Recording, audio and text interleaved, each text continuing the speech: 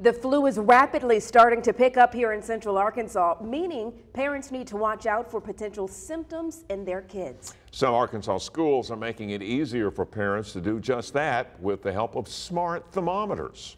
TV 11's Melissa Zygowicz shows us how this program is keeping track of the flu this year.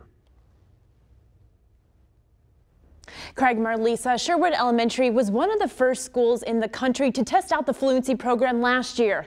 And now about a dozen more Central Arkansas schools have jumped on board.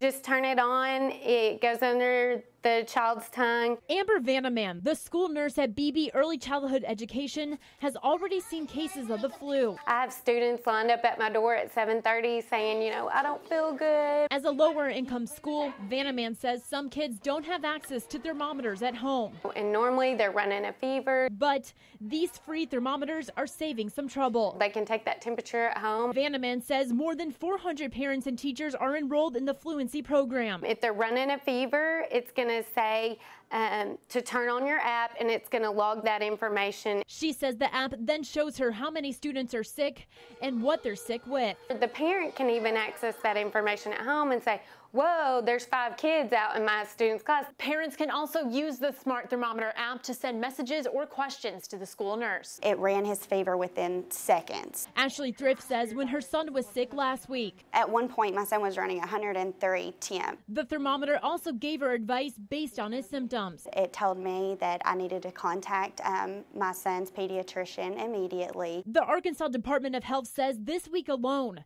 more than 200 cases of the flu were reported. Health officials say these early numbers are worse than the past two years. I'm able to see what's going around at that time. Vanaman says this app will hopefully help parents identify flu symptoms quicker. And don't have to send them to school and infect the whole class.